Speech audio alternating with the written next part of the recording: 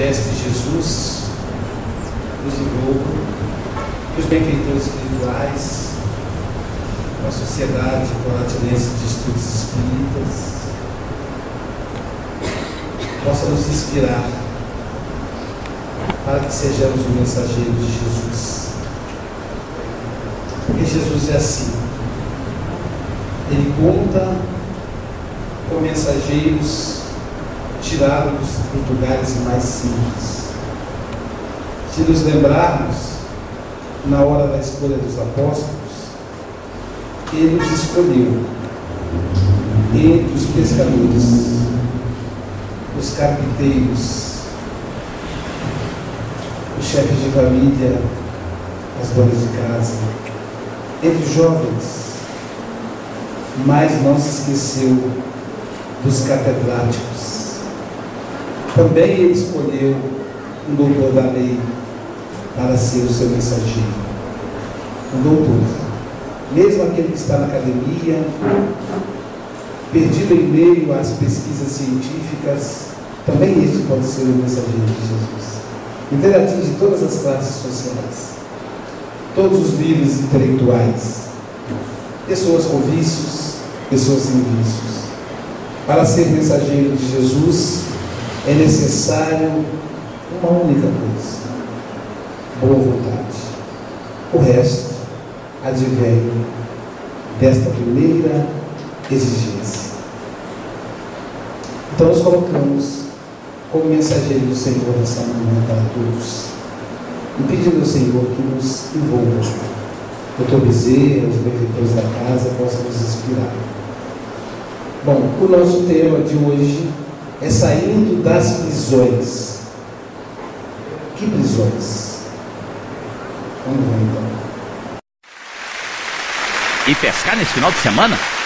E lá tem tempo para isso? Praia? Nem pensar. Estou até o pescoço de trabalho. Só hoje eu tenho cinco reuniões e já estou atrasado para a primeira.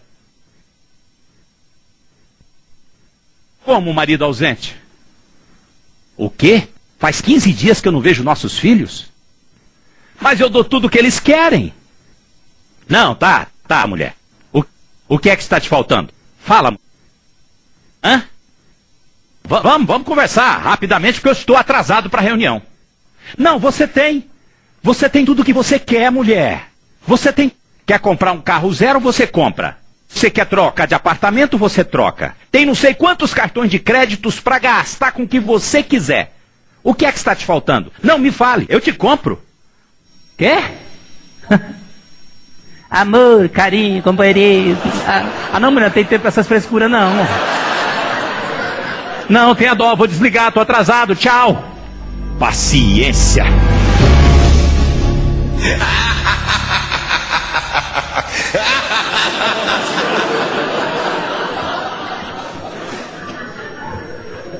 Que que é isso, meu Deus do céu? Quem é você? Eu sou a morte. O que, que você está fazendo aqui? Chegou seu dia, eu vim te buscar. Você tá louco? Eu não tô doente nem nada? Isso é o que você pensa. Há quanto tempo não vai ao médico? Ah, uns cinco anos. Sou sadio igual um coco, sei lá. Consta no meu fichário que você bebe muito, fuma muito, trabalha em excesso, não faz exercício, tá com a veia entupida, colesterol alto. Conclusão, vai dar um infarto agora e eu vim, ó.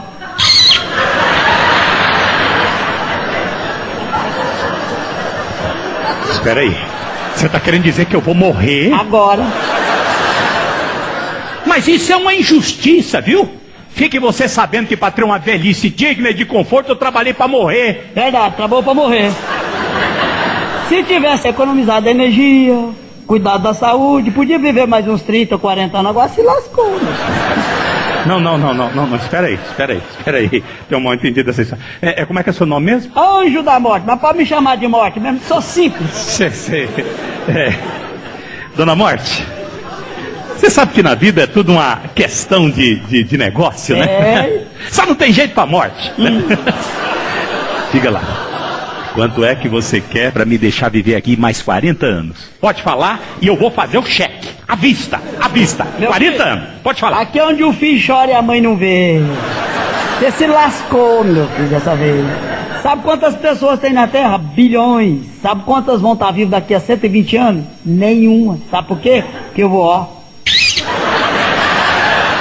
Uma por uma.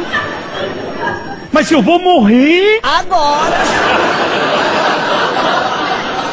Mas eu vou deixar minhas empresas, meus negócios aqui, a minha família, a minha mulher, tão Você- nova, tão bonita. Você é fingido, é, rapaz? Você é falso, hein, rapaz? Sempre achou sua mulher feia, enjoada, gastadeira, linguaru. Sabe o que você tá com medo? O quê? Dela casar com outro e gastar seu dinheiro com o Ricardão. Nem fale uma coisa dessa. Nem fale um negócio desse porque vai me dar um troço. E vai mesmo, e agora? Nem me fale. Sabe o que, que o Ricardão vai fazer? O quê? Vai levar sua mulher na praia, Não. Caldas Novas. Não. Você já levou sua mulher na boate? Não, claro que não. Ele vai levar.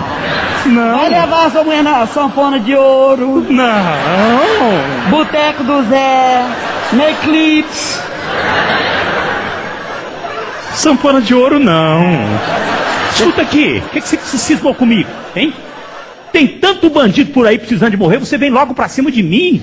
Eu não sei se você sabe, eu sou um empresário honesto, É. trabalhador, cumpridor dos meus deveres, contribuo com o crescimento desse país, pago os meus impostos em dia, Todo mundo é assim. leva os bandidos que estão por aí que tem demais, Bin Laden, sei lá, me deixa em paz. Rapaz, deixa eu ficar empurrando os outros, rapaz. Chegou a sua vez, meu filho, ó. É hoje.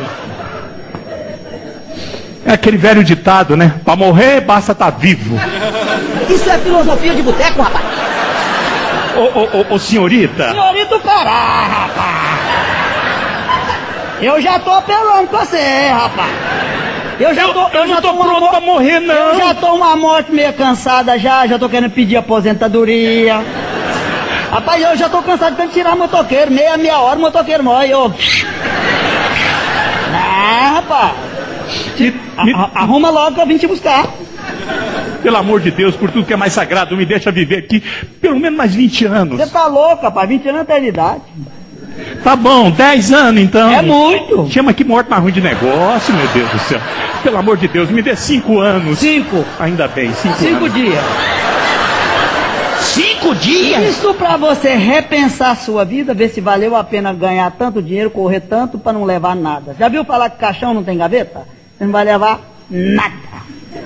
Mas E vocês que estão me olhando aí, o dia de vocês vai chegar e eu vou, ó. Cinco dias, ó. Ô.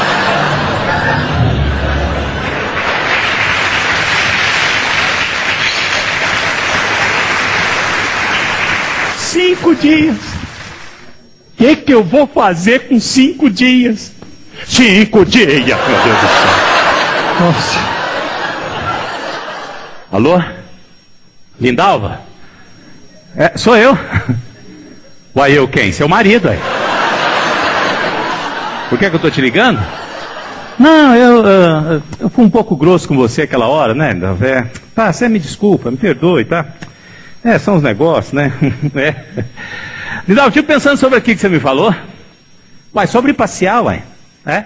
Não, vamos, vamos, vamos. O que é que me fez mudar de ideia? Ah, a vida é muito curta, né, Lindalva? É. Você pode estar morto daqui cinco dias. Vamos. O quê? Final de ano? Que final de ano, mulher? Arruma a mala, eu tô passando aí agora. A grande questão é exatamente isso. Pode ser que o anjo da morte, não tão engra- engraçado quanto na imagem, né? já tenha nos visitado e tenha marcado os cinco dias. E o que, que nos aprisiona? O grande problema é nem morrer e não ter vivido.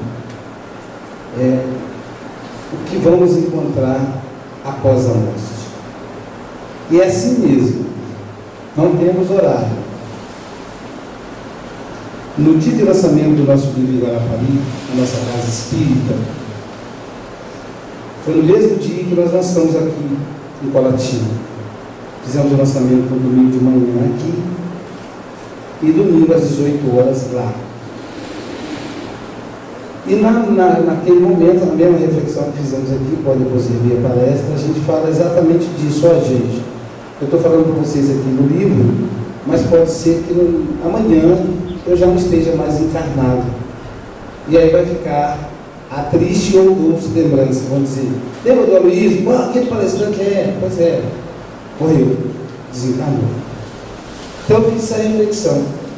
E um dos trabalhadores da nossa casa, que era um coordenador de, de estudo lá, assistiu essa palestra às 18 horas. Na segunda-feira, às 19 horas, ele foi atropelado na cabeça da ponte de Guarapari e teve morte instantânea, desencarnou. Esse companheiro depois volta em comunicação e vai dizer que quando ele assistiu a palestra, me agradecendo, né? Ele sentiu alguma coisa no peito percebeu que era um recado para ele. Então é exatamente isso, ele assistiu a minha palestra, um grande amigo, que hoje está na, na, no mundo espiritual. Então assim, um amigo muito querido mesmo. Para vocês terem ideia, foi a primeira pessoa que a gente fez, a gente velou o corpo dentro da casa espírita. Não temos esse hábito, como também não tem, a não ser como é trabalhador da casa. E lá era o trabalhador da casa. Me lembrei do vigílio, da, da, da, do, exemplo do vigílio, falei, vou fazer isso porque ele é liderança da casa. A família dele se, se, se sentiu confortável porque eles estão, são evangélicos, só ele é espírita. Então a esposa falou, Luiz, ele vai ser, o corpo vai ser velado na casa espírita ou na igreja batista? Eu disse, não faz sentido, o companheiro era liderança da casa. Então, é exatamente isso. Nós podemos partir. E quais são as nossas prisões? O que é que está nos prendendo até hoje? quais são as nossas prisões? Como é que nós saímos dessas prisões? No caso da história, a prisão é o apego à empresa, ao dinheiro, ao trabalho. Mas qual é a minha prisão? A prisão pode ser o apego a uma pessoa amada. Mas eu não amo, eu não sou apegado à casa, não sou apegado ao carro, não sou apegado ao trabalho, eu sou apegado à minha mulher. Está errado também. Que amar é libertar. Não sabemos quando, até quando o companheiro vai caminhar conosco. Ele pode nos deixar. Quantas vezes eu, todas as vezes que eu venho, raramente, mas na maioria das vezes eu fico hospedado na casa do vigílio. Quantas vezes a Jaque me recebeu, tanto carinho, né, aquela afeição. Às vezes ela levantava de madrugada quando eu chegava para poder lanchar comigo. E hoje já não é mais esposa do Vigílio, já está no mundo espiritual. Hoje o Vigílio é um mundo novo. Então, se o Vigílio fosse apegado a Jaque, se a Jaque fosse para ele uma prisão, ele não continuaria caminhando. Isso não quer dizer que ele não a ama, que ele não a amou e que ele não a ama, porque a prova de amor a gente dá na dedicação ao outro nos momentos difíceis. A grande maioria, quando não ama, sai fora quando adoece, ainda mais quando é uma doença que vai levar a pessoa, geralmente o companheiro ou a companheira se afasta quando não tem amor. Então não é que não ama, mas é amar de verdade. Porque quando você é apegado, você não ama, você possui. Da mesma forma você é apegado à casa, ao carro, ao violão.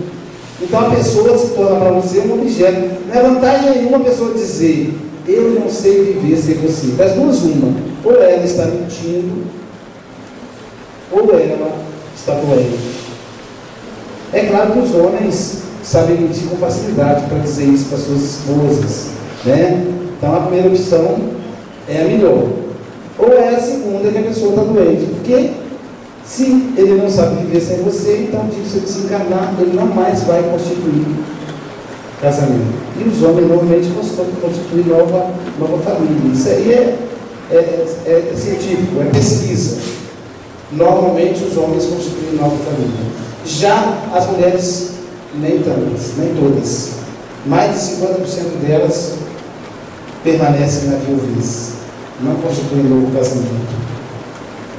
Então, mas não é saudável essa história não saber sem você. Quem ama, vive com, sem, apesar.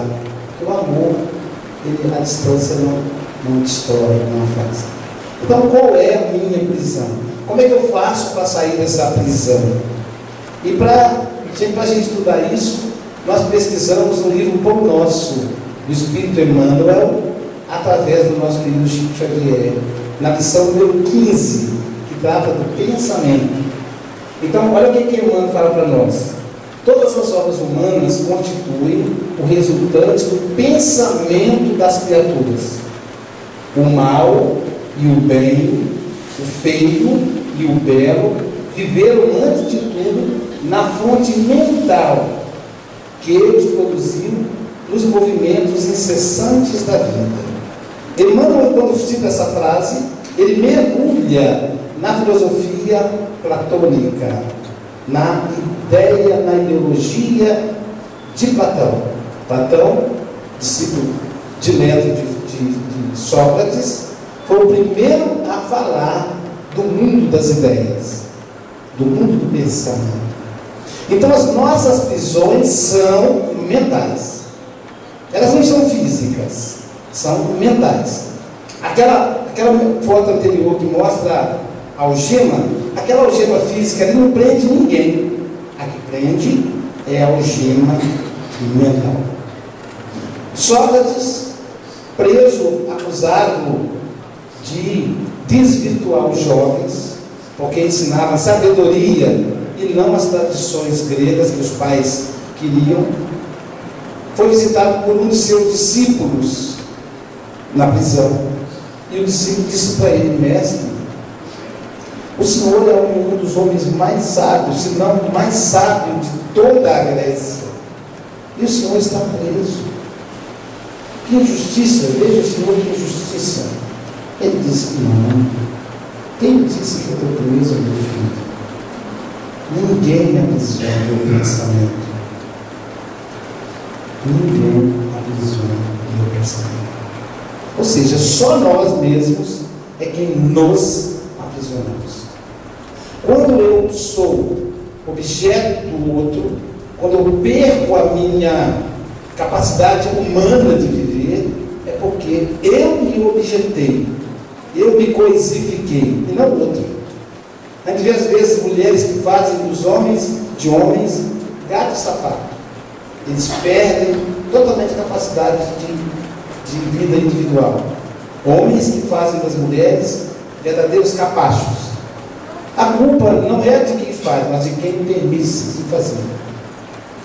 Então somos nós, então, é, só para dizer, ninguém pode prender o meu pensamento, a minha alma. Então, tudo que nos acontece, todas as prisões, sejam elas mal ou bem, fomos nós que construímos. Se estamos presos a uma cama, quem nos prendeu ali? Nós mesmos. Mas a pessoa já nasceu deficiente físico nisso. Sim. E qual o problema? Foi ela que se aprisionou ali. Não nessa vida, mas em vida passada. Sempre somos nós. Então é importante que a gente perceba que cada passo que a gente dá na vida, nós caminhamos para a liberdade ou para a prisão. Todas as facilidades do mundo hoje nos levam à prisão. Jesus já nos fala: cuidado com a porta larga, cuidado com a porta da facilidade. A gente assiste na televisão os políticos, pessoas de outras áreas também, do meio jurídico, por exemplo, atolados até o pescoço em corrupção. E nos indignamos, ficamos com raiva, às vezes, às vezes vibrando, vibramos contra esses, esses irmãos, que são nossos irmãos. São nossos irmãos, são pessoas doentes, doentes Olha a vida dessas criaturas daqui a 10 anos, daqui a 20 anos. Ou quem sabe até hoje mesmo. Olha a família deles, como está constituída. Observem. Porque os filhos aprendem com os pais a corrupção. Tem político aí da terceira, quarta, quinta geração. Tem gente do poder judiciário da terceira, quarta, quinta geração. Então, herdam o que foi plantado. Então, nós temos apenas que orar por esses irmãos, porque eles estão caminhando para a prisão. Ainda que nos nossos, aos nossos olhos estejam caminhando para a liberdade. É que a gente tem uma visão equivocada de que seja liberdade. Então nós é que escolhemos o que queremos com o nosso pensamento.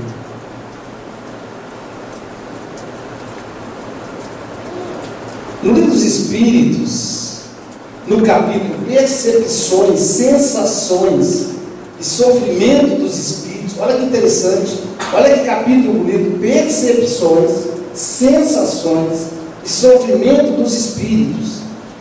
Allan Kardec faz a seguinte interrogação na questão 237 da obra básica da doutrina espírita. Uma vez de volta ao mundo dos espíritos, conserva a alma as percepções que tinha na terra. Se aquele empresário de forma jocosa, brincalhona, abordou a realidade da vida e o tema da morte, quer dizer, ele vai conservar aquele apego à empresa, aos compromissos, ao dinheiro, a querer comprar tudo. Como é que funciona isso no mundo dos espíritos? Allan Kardec faz essa pergunta.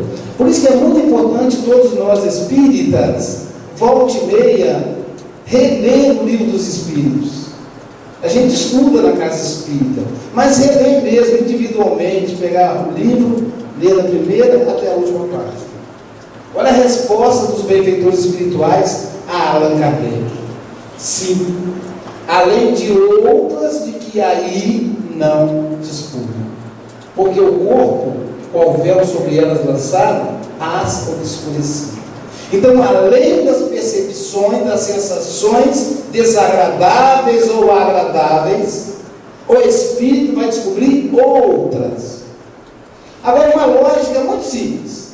Se eu conservo percepções agradáveis, a tendência no mundo imortal, no mundo dos espíritos, é eu ter percepções, mais percepções agradáveis que eu não conhecia ou desagradáveis.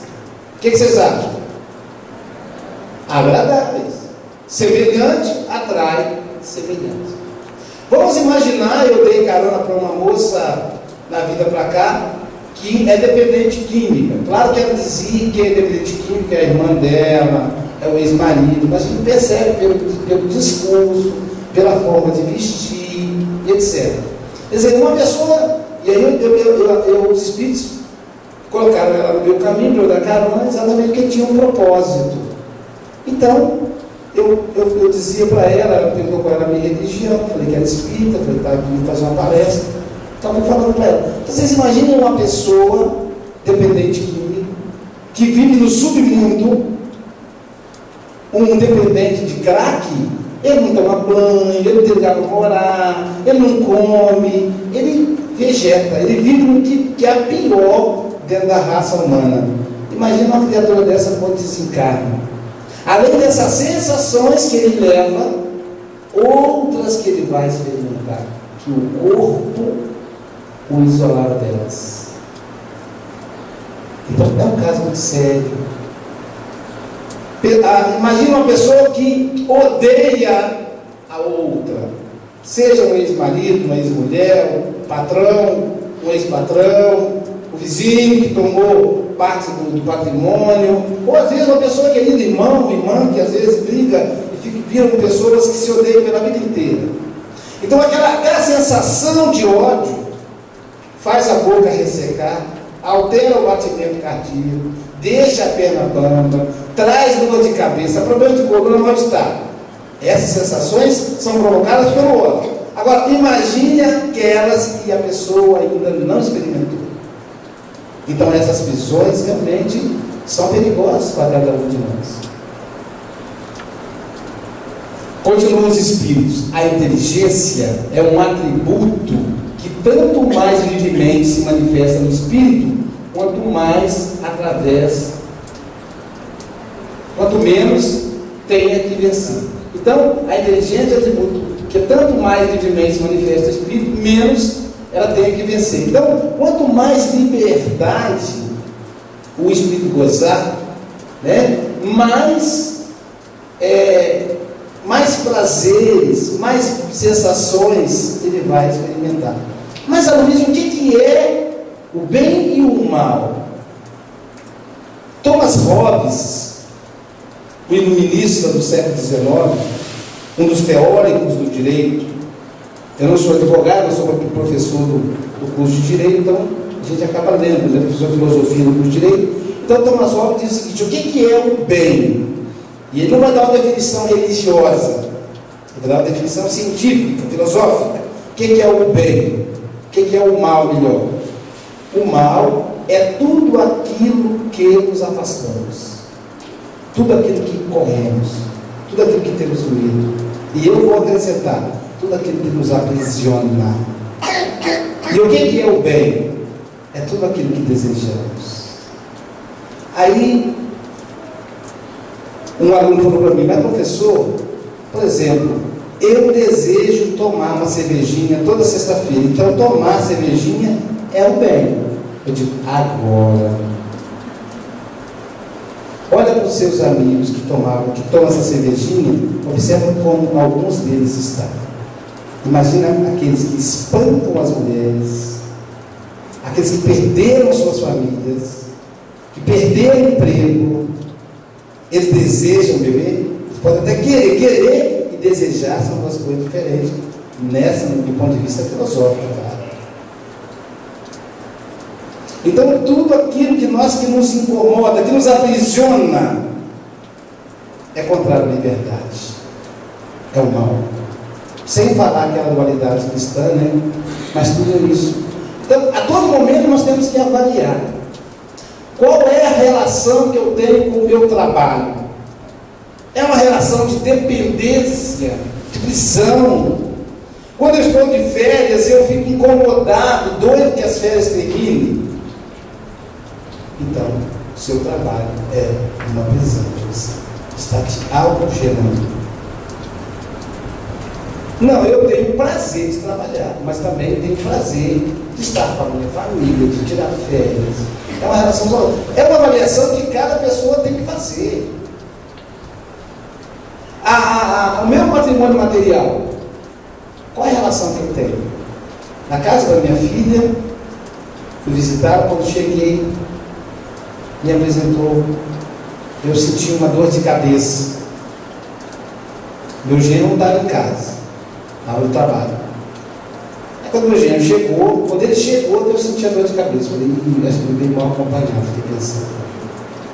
E fiquei interrogando o que seria aquilo. Aí me apresentou uma senhora de 80 e poucos anos, com a cabeça enfaixada, suja de sangue. Eu disse, meu Deus. Mas ela não tinha uma fisionomia de uma pessoa má. Aí eu falei com a minha esposa, com a minha filha, essa casa pertence a quem? Ah, aquela senhora que mora aqui em cima. Quem morou aqui antes? Disse que foi a mãe dela. Ela morreu. Pois é, mas ela está aqui ainda. Nossa, pai, por isso que eu, senti dor de cabeça quando eu entrei aqui. Pois é, ela está aqui ainda. E ela está reclamando dos móveis que tiraram. A casa ficou mobiliada por três anos com tapete, com, com cortina, com tudo. Graças a Deus, a última inquilina comprou, quando foi embora, levou tudo, comprou da proprietária. Falou, eu quero ir embora, mas eu quero móveis antigos, né? Quem não quer? Móveis, móveis de madeira, que não existe mais hoje. Tudo é, é feito de pó de serra, né? Então a, a, moça esperta comprou, esse, comprou os móveis, comprou principalmente um tapete, que era a paixão da, da, da senhora. Ela levou. Isso foi uma bênção. Agora o espírito está bravo, a senhora está nervosa, porque levaram as coisas dela. Aí eu fui conversar com a filha dela que mora em Santos. Qual é a sua religião? Eu sou católica, ela disse. Sua mãe morreu tem pouco tempo, né? Não, pois é, mas parece. Sua mãe morreu tem quantos anos? Há três anos. Pois é, muito tempo. Ela morreu com um problema na cabeça. Sim, como é que o senhor sabe? Não foi? Foi. Pois é. Ela está tá sentindo dor de cabeça do aneurisma até hoje. E você já fez um benefício de tirar as coisas daqui, mas ainda precisa caminhar. Ore por ela, quando você for à igreja, peça a Nossa Senhora de Fátima, guiai caminho, e fala para ela um em paz. Essa casa é a paixão da vida dela. Era, não é mais, era, pra, porque a mãe estava perto escutando a filha, a filha falar. Era a paixão da vida dela. A paixão da vida dela agora é a vida espiritual. Mas papai morreu tem cinco anos. Pois é, seu pai está bem, porque não era pegar da casa. Está querendo socorrer sua mãe, mas sua mãe não quer, não está querendo ajuda. Então, às vezes, a casa pode ser a nossa prisão. Aquela dona de casa que deixa tudo arrumadinho, tudo no lugar certinho. A minha esposa, tudo no lugar certinho. Se tira, ela sabe onde está, cada, tem um alfinete na casa. Aí, de vez em quando, eu falo para ela: reflita, a casa é material. Como a, o teatro mostrou, o caixão não tem gaveta e nem pode levar a casa. Então, reflita sobre isso. É importante que a gente reflita a relação com os filhos. Imaginem os senhores, quem é mais chegado no vigílio, imagina o sofrimento da Jaque nos primeiros dias do desencarne, por causa dos filhos. Zé a Jaque, que está me ouvindo agora, ela vai ter que sublimar essa relação de saber que o amor maternal está além da relação corporal. Falar isso é fácil, ainda mais sendo homem falando. Sentir isso é diferente, ainda mais sendo mulher, porque o homem não, não, não tem noção. Nós, homens, não temos noção do que seja o amor maternal. Mas a companheira vai com o tempo aprendendo a transformar. Porque o problema é o amor, o amor não aprisiona ninguém. O problema é a nossa visão equivocada, infantil, psicologicamente falando, do amor. No Evangelho segundo o Espiritismo, capítulo 28, item 10, eu encontrei a seguinte frase na minha pesquisa: O pensamento mergulhado no fluido universal ocupa o espaço dentro da atmosfera. Esse fluido recebe da vontade uma impulsão. Ele é o veículo do pensamento, como o ar é o veículo do som. Com a diferença de que as vibrações do ar são circunscritas, ao passo que o fluido universal se estende ao infinito. Tudo é formado a partir do pensamento. Então, a nossa vontade manipula o fluido e forma vida. Forma pensamentos não palpáveis, mas que se tornam palpáveis. A nossa reencarnação é o resultado disso. O corpo que temos hoje, seja daqueles mais magrinhos, os mais gordinhos, os mais baixinhos, os mais altinhos, os mais branquinhos e os mais queimadinhos, seja como for, fomos nós quem escolhemos, fomos nós quem construímos pelo nosso pensamento o corpo que temos. Olha que coisa fantástica. E nós fazemos isso 24 horas por dia em todos os dias da nossa vida. A gente diz assim: meu sonho é ter um câncer. Ah, seria tão bom ter um câncer de próstata. E aí, o indivíduo vai plasmando esse câncer e, e consegue ter o câncer. Um amigo que trabalha com, com, com a área do câncer em São Paulo me disse o seguinte: duas senhoras procuraram há 10 anos atrás, doutor, eu estou com câncer. Uma delas, eu estou com câncer. E a amiga disse, ela tem razão. Mas a senhora é médica? Não, não, eu sou amiga dela e tenho certeza que ela tem. Então vamos aos exames. E aí fizeram uma bateria de exames.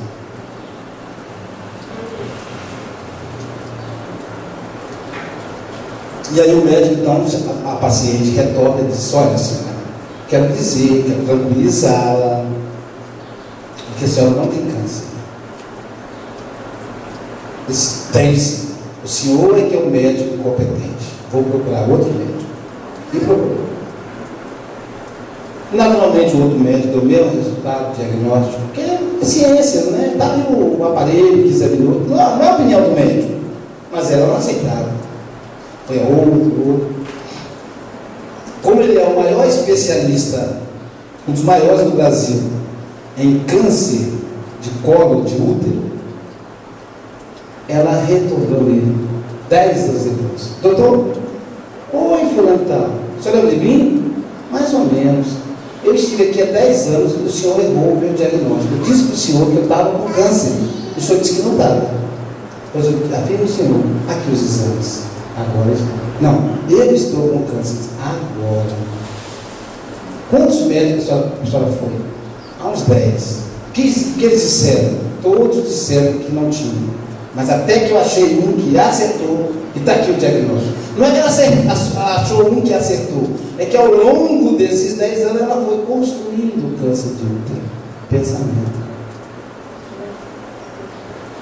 Se a pessoa disser assim, eu quero morrer, não morre. A avó da minha esposa, quando completou 80 anos, fomos fazer a festa, uma festança para ela. Metade da família é católica, metade evangélica, então teve que ser uma festa neutra, né? E eu e a minha esposa espírita, espíritas, e aí aquela festa. Eu fui cumprimentar e disse para ela, parabéns, a senhora está entrando na quarta idade. É uma vitória. Parabéns. Eu disse, não, não me parabenize não. Não tem graça nenhuma viver tanto. Eu quero morrer.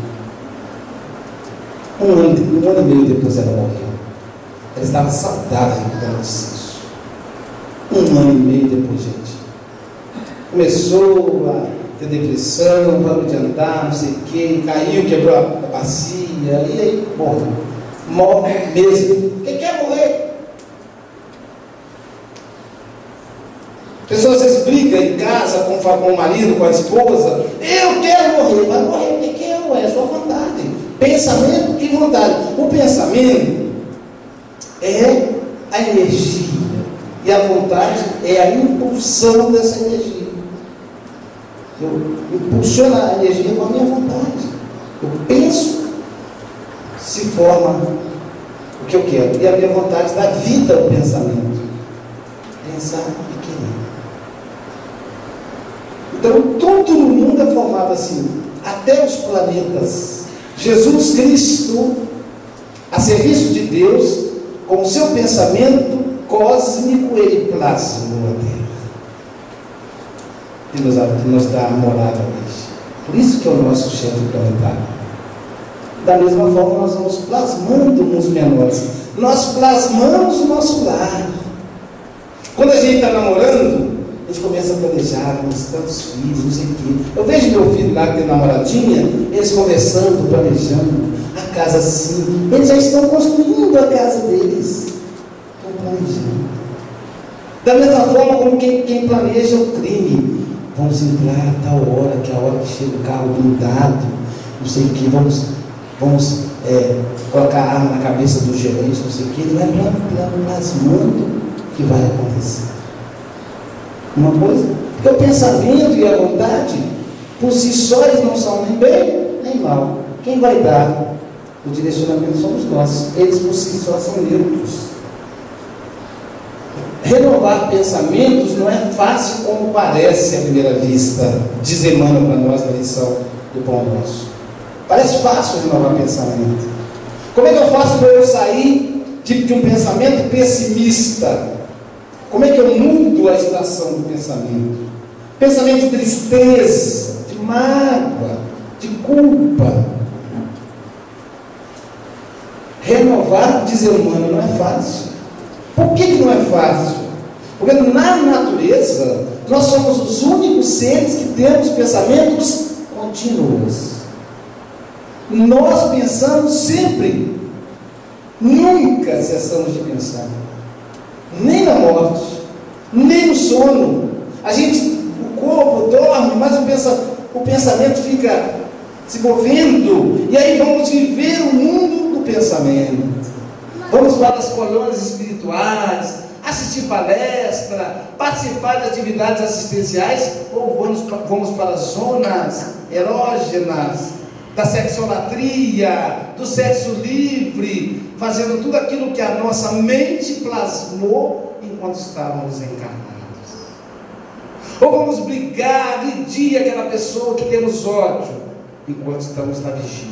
Aí dorme, o Espírito se liberta e ele é guiado pelo pensamento.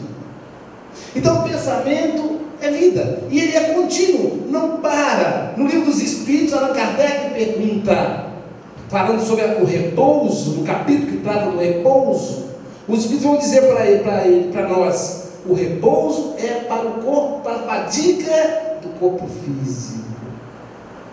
O repouso não tira a fadiga do espírito. E aí Allan Kardec pergunta, mas quando é que o espírito descansa, repousa? E aí os espíritos respondem, no desvio do olhar.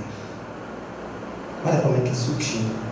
Eu tirei o olhar daqui, passei para lá, já descansei espiritualmente. O espírito não tem fadiga, só corpo.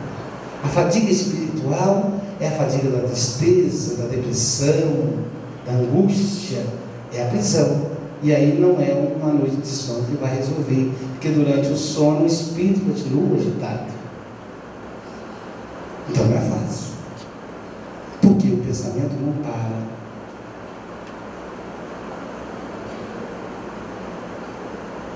Demanda muita capacidade de renúncia, profunda dominação de si mesmo, qualidades que só o homem, que só o homem não consegue, sem alcançar o trabalho, o sacrifício do coração. Não consegue alcançar sem trabalho e sacrifício do coração.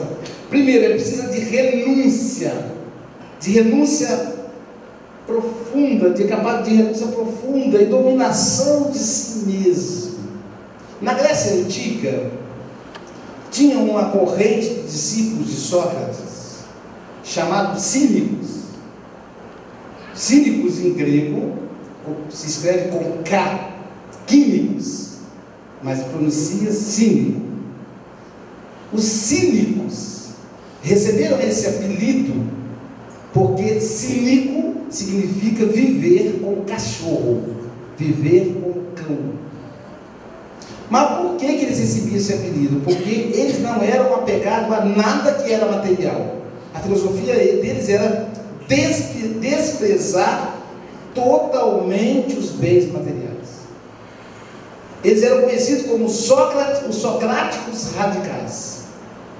E o líder dos cínicos, desde que a palavra cínico hoje tem outro significado completamente diferente. Então, cínico na época era aquela pessoa que era fiel à filosofia socrática. O líder do cínico chamava-se Diógenes. Diógenes era famoso porque não tinha nenhum patrimônio material, não tinha nem casa para morar. Para dormir, ele dormia dentro de um barril que era cedido por um amigo. Não tinha nada. A única coisa que Diógenes tinha era uma caneca que ele usava para tomar água. Só. Essa caneca ficava pendurada ao pescoço. Era só o patrimônio dele que tinha. Um dia, Diógenes observa uma criança tomando água na bica. A criança fez a mão em forma de conchinha e tomou a água. Disse: Não preciso nem da caneca mais. E jogou fora a caneca. Alexandre o Grande, sabendo da existência de Diógenes, Alexandre era muito culto.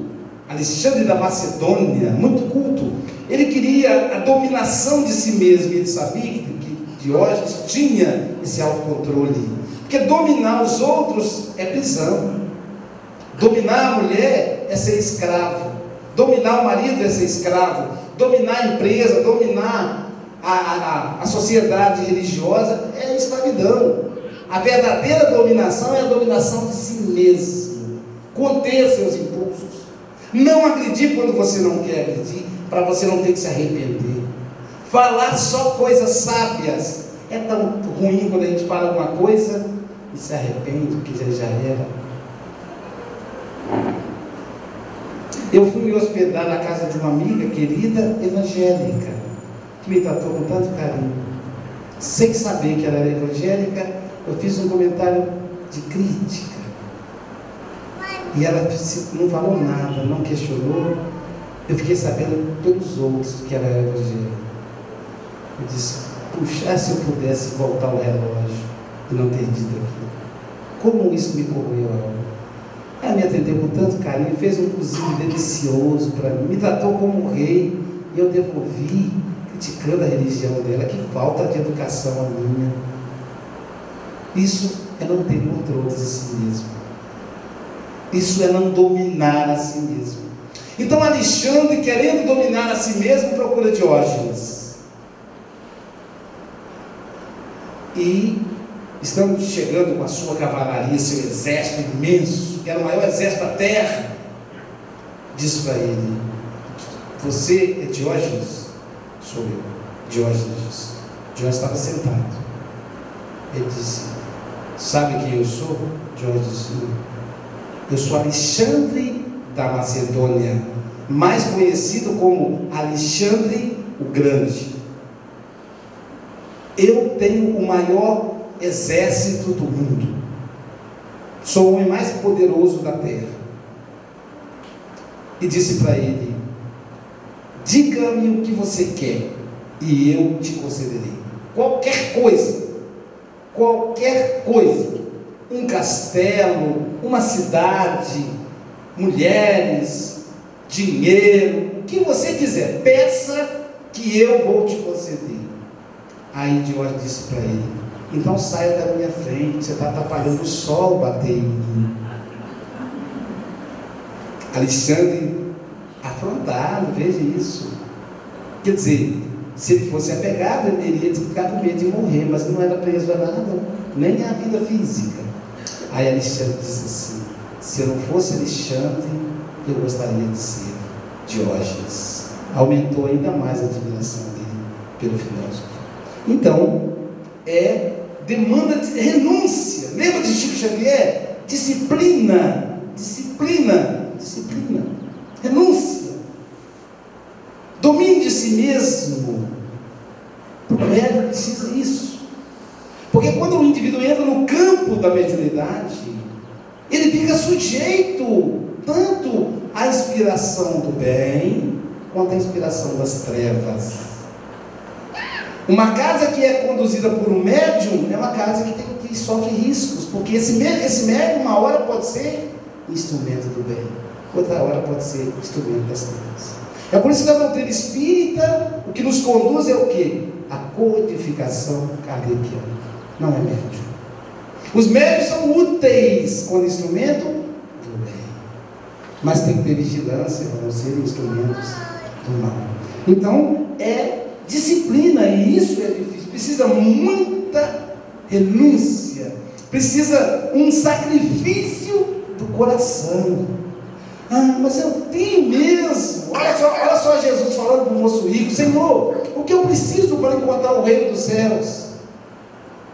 Vá, vende tudo que você tem. Imagina ele, rico, era um moço rico, que tem que vender tudo, meu Senhor.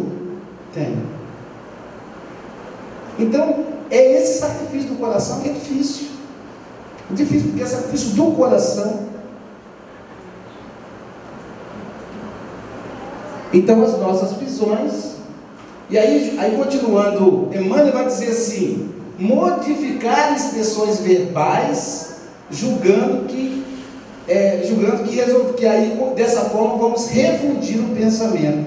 Então, muitas vezes nós nos iludimos achando que mudamos mudando palavras, a gente muda pensamento. Porque a gente pensa falando. Então a gente pensa, a gente imagina que mudando as palavras, vamos mudar o pensamento. Mudando a embalagem, a gente muda o pensamento. É claro que é importante também mudar a embalagem, mas a embalagem é apenas uma composição do pensamento. Nós pensamos falando e não falamos pensando, é o contrário. A nosso, nosso pensamento tem forma de palavra, e não a palavra tem forma de pensamento. Então a origem está no pensamento. Então Emmanuel fala que quando a gente modifica apenas as expressões verbais, a gente está equivocado. Aí ele diz assim: pela repetição das circunstâncias, encontram de novo análogas perturbações, porque o obstáculo e as sombras permanecem na mente, quais fantasmas ocultos. Já ouviram falar no ato falho? A pessoa solta às vezes uma, uma coisa que não queria. Por quê? A cabeça está. Então Jesus diz assim: pecar em pensamento. Então, modificar o pensamento não é, não é modificar apenas as palavras. Pensar é criar. Diz Emmanuel, o objeto formado pelo poder mental vive no mundo íntimo, exigindo cuidados especiais para o esforço de continuidade ou extinção. Então é necessário que a gente, que a gente vigie, analise os nossos pensamentos. Esses pensamentos devem ser extirpados ou devem ser alimentados. De repente eu acordo, acabo triste, deprimido. E os pensamentos que estão envolvendo a minha mente naquele momento devem ser alimentados? Não. Então eu vou mudar a faixa do pensamento. Por quê? Eu não posso deixar de pensar. Então não teimem com os pensamentos. Eu não quero pensar em depressão. Eu não quero pensar em tristeza. Você está pensando, não briga com pensamento. Não dá para você ligar. É uma briga frutífera. O nosso querido José Raul Teixeira, que está se recuperando com muita de forma muito acelerada, muito rápida, por causa do trabalho dele, que nós precisamos do nosso divulgador espírita no mundo, Raul Teixeira, que passou por, uma, por um AVC, hoje já está recuperando, já tirou foto, já consegue acenar, e ficou com um lado completamente esquecido, inclusive o lado da fala, já que ele é palestrante. Então, é, o que, que acontece? O Raul Teixeira, quando esteve aqui em Cachoeira Tapimirim, ele foi fazer um seminário de passes. E nesse seminário participou os adultos e a mocidade. E aí na hora da pergunta, um jovenzinho levantou a mão. E jovem, quando levanta a mão, o palestrante fica de cabelo em pé, porque não vem coisas assim difíceis, né? Aí o jovem, porque eles são espontâneos, eles falam a verdade, ainda não desenvolveram a capacidade de, da hipocrisia, são sinceros. Então, o jovem levantou a mão e disse assim: Seu Raul, se eu estiver aplicando um passe e na hora eu pensar numa mulher pelada, o que, é que eu faço? Sinceridade, porque os homens pensam isso, mas não falam. Agora, o jovem teve coragem. Eu peço para a mulher, eu, eu, eu fico negando, ele falou: Não, sabe o que você faz? O Raul falou para o jovem: Olha para ela, você quer que eu olhe para você? Já olhei, querido, você está muito bonita, agora vai embora, em nome de Jesus, que eu vou continuar o meu trabalho. Porque você fica falando, não vou pensar na mulher pelada, eu não vou pensar, ela continua ali. Então você olha, pensa, irmão, já olhei, está tudo certo, agora vai com Deus, que eu vou continuar no meu trabalho. Porque a gente não pode, né? Olha, não pense em coisa ruim, não tem como não pensar em coisa ruim. Porque os pensamentos, eles estão soltos. É, é chamado, chamado inconsciente coletivo de Jung. Então, estão soltos por aí. A gente sintoniza como um rádio. Às vezes sem querer. De repente você fala assim, aquele meu vizinho, que sujeito desgraçado. Aí tu caiu a vibração, você sintoniza um pensamento negativo. Ah, seria tão bom que quando fosse atravessar a rua, o caminhão passasse. Não, mas seria tão bom. Aí você muda a vibração. Aí você pensa, um novo pensamento seria tão bom que ele fosse feliz. Que a casa dele ficasse mais bonita que a minha. Que ele comprasse um carro mais sofisticado que o meu. Porque ele deve ser, eu, eu desejo que ele seja feliz. Aí você está mudando. E aí você começa a imaginar seu vizinho rindo, olhando para você dizendo, está vendo como eu sou mais rico que você? E aí você mudou o pensamento. Você não quer mais que ele morra atropelado. Então, nós temos essa capacidade de mudar a faixa vibratória do pensamento. Então, a gente vai alimentar ou extinguir, depende de nós. E aí, é, o, o pão nosso, no item 15, Emmanuel encerra dizendo assim: O Evangelho tem um roteiro para que a mente do homem se renove nos caminhos da espiritualidade espiritual. Nós aqui passamos pequenos toques que usamos para nós mesmos, inclusive, mas o roteiro verdadeiro está no Evangelho de Jesus.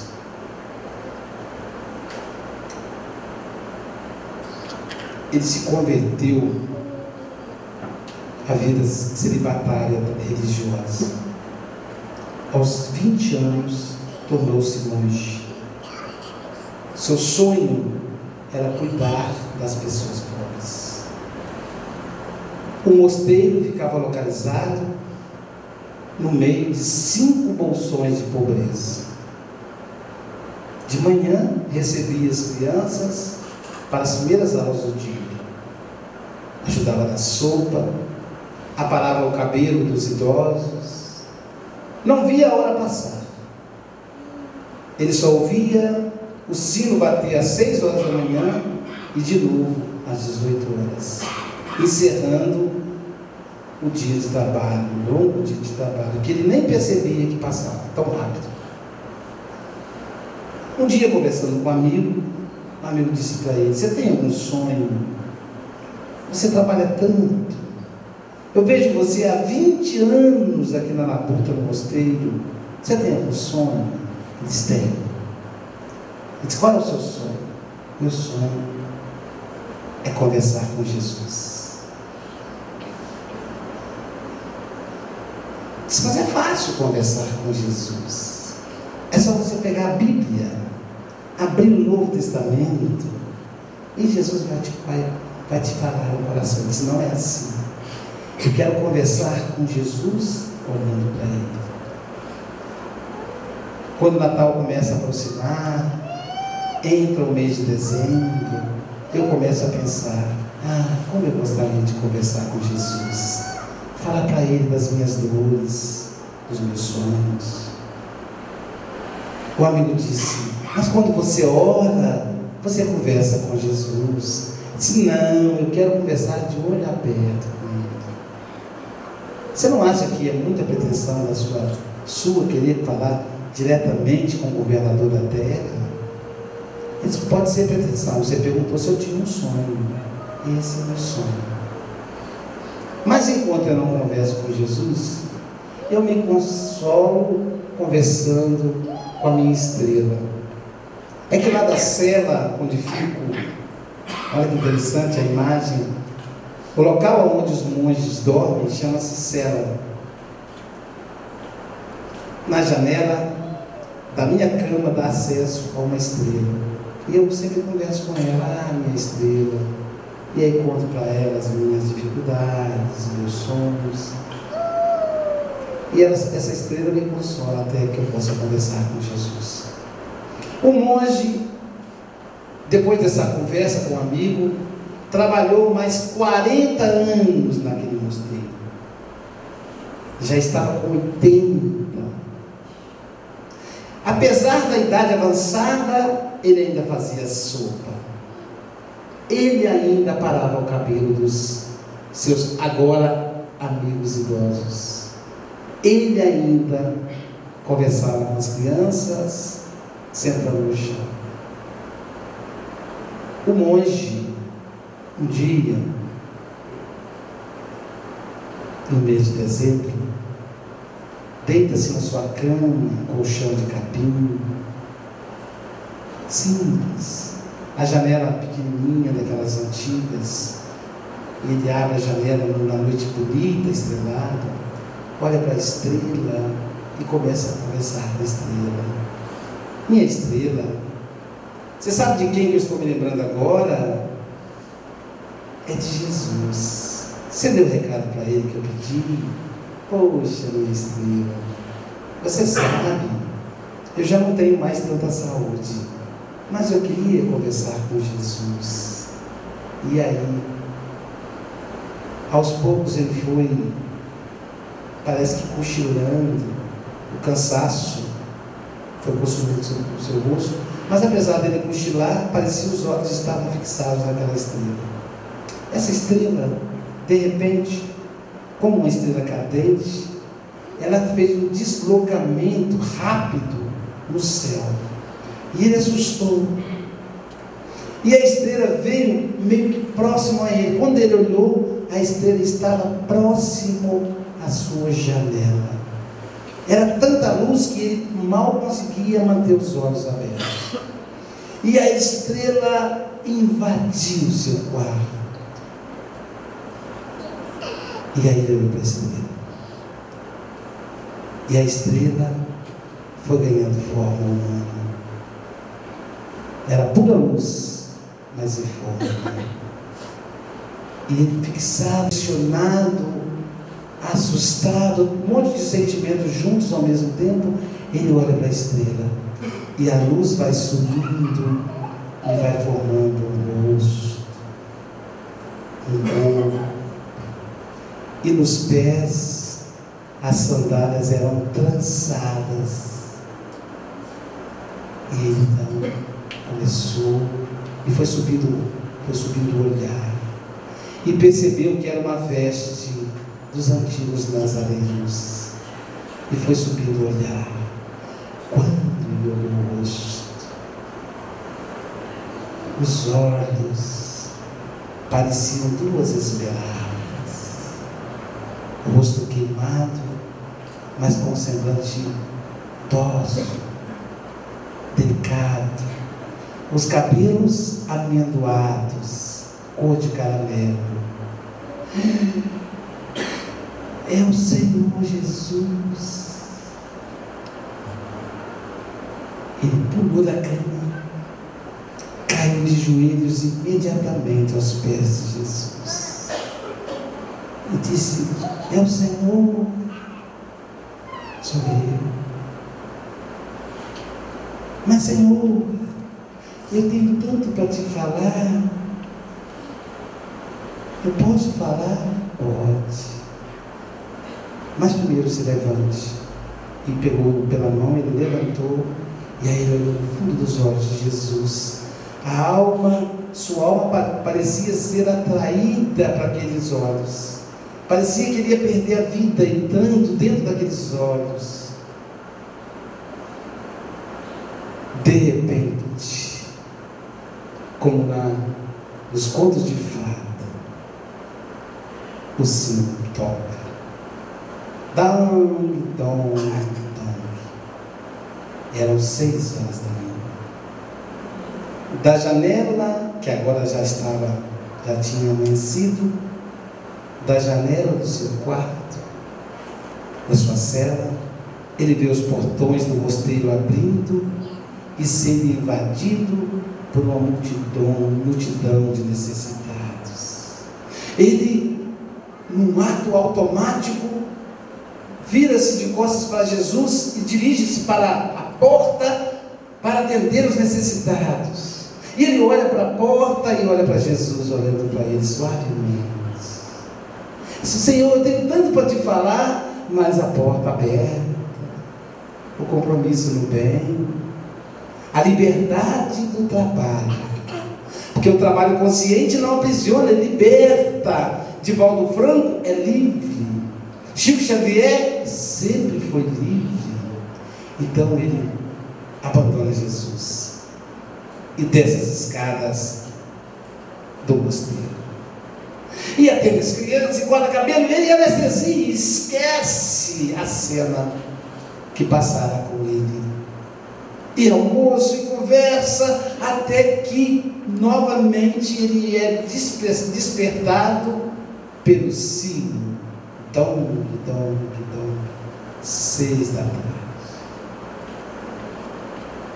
Ele então vai para o chuveiro, chuveiro frio, e a água batendo na sua cabeça, ele começa a fazer o processo de relaxamento, e aí ele lembra: Ah, meu Deus, eu deixei Jesus lá no meu quarto. Durante 60 anos eu sonhei encontrar com Jesus. Quando eu encontrei, deixei ele lá no quarto. Voltou triste. Os amigos disseram: Você vai tomar sopa, senão está sem fome. Cabisbaixo, triste, ele se dirige para a cela. Já é noite.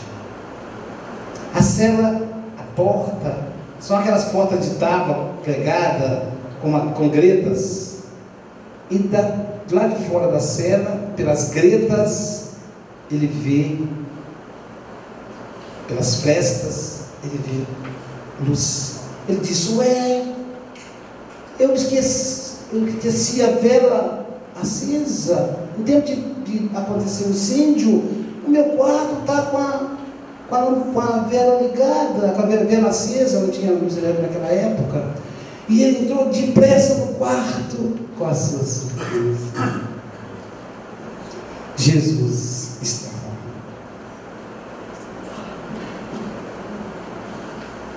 Deixa eu avançar. Estava lá, olhando para ele. O Senhor não se foi. Ele disse: Não estive aqui o dia inteiro olhando para você. Mas, Senhor, como eu pude deixar? Se você tivesse ficado, sou eu quem teria ido. Você estava comigo. Eu estava, sim. Lembra daquele garotinho que você sentou no colo para contar histórias? Era eu. Lembra daquela mulher com o lenço na cabeça pedindo comida? Era eu. Você lembra daquele senhor que você aparou a barba, a barba cheia de rugas? Era eu. É, Senhor, sou eu. Agora é a sua vez. Você fala e eu escuto. Monge, no dia seguinte, Abriram a cela, o corpo do monge estava frio sobre o colchão de capim. E o monge, o monge, caminhava nas altas paisagens espirituais, conversando com Jesus. Isso está no livro Pontos e Contos do Imuxas. Muita paz a todos. Que Jesus abençoe.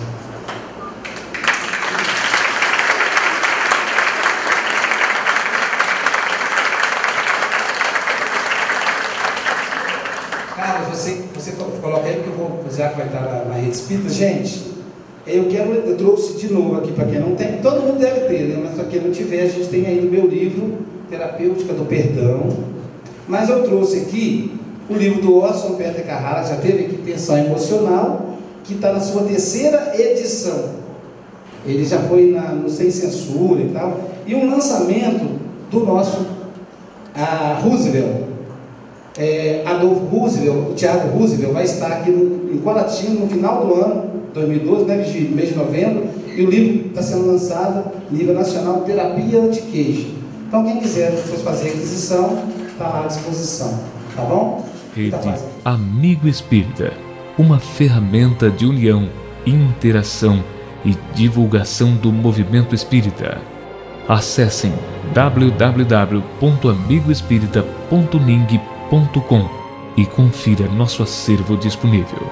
Rede Amigo Espírita, divulgando, instruindo e unificando.